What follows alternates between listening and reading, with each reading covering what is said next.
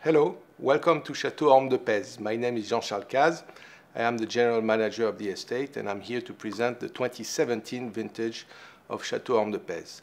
Ormes de Pez is located on the west bound of the appellation Saint-Estèphe. The terroir of Ormes de Pez is characterized by gravel, uh, sandy gravels, and uh, subsoil, and the wines hence reflect the um, characteristic of the appellation. We make bold wines that are made for the long haul.